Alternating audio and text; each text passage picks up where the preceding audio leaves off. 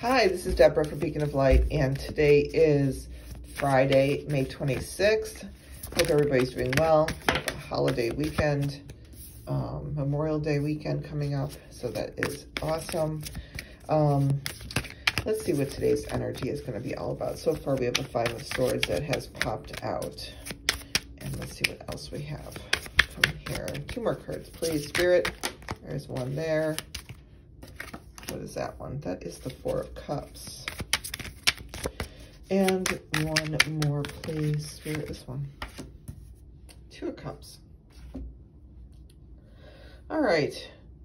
So this Five of Swords is about battling um, for a victory, but it's really a victory of one's own mind.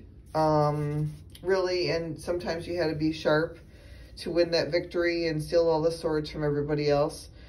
Um, so the Five of Swords can be combative energy. It could be energy where one feels they have to manipulate or even um, use sharp words to win a win a conversation, win a battle, win a win the mind.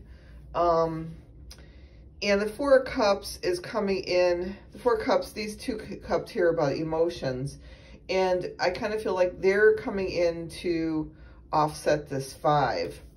So the, the Four Cups is about the gift, the hand of God offering a different perspective, offering a different uh, feeling or emotion in order to overcome um, whatever it is you're feeling it with these three of cups. It, it's a gift from God. It's something you haven't seen yet. It's a different perspective. It's a different way of viewing things.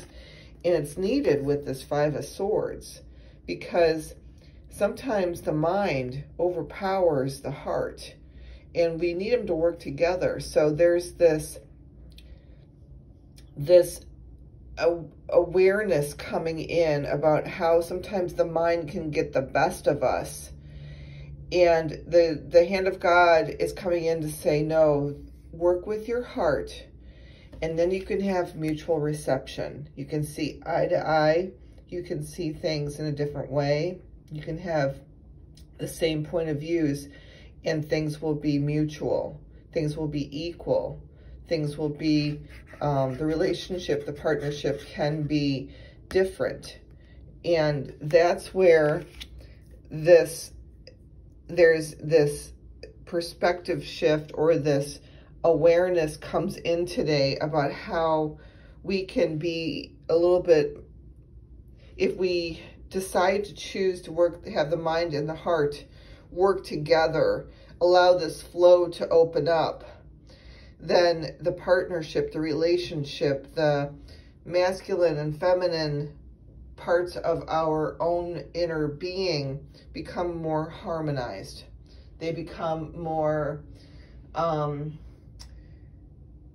more in sync with each other to get things done rather than fighting with each other or competing with each other or, um, again, combat, being combative and trying to see, trying to win a per, win a side. And there's going to be, they're working together with this Two of Cups.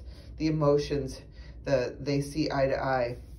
So there is this awareness today to allow the head and the heart to work together in order to have a, a harmonic result. And that's important as we go through things because life is not easy some days and we we want to stand our ground and and prove a point sometimes and it, sometimes it's not worth it. Sometimes it's worth just um, seeing a different way and and going into the heart space and opening your heart to a situation so that it could be more more harmonic as a result. And then it's a win-win no matter what um, so I hope this helps and hope everybody has a great day. Thanks so much. Bye.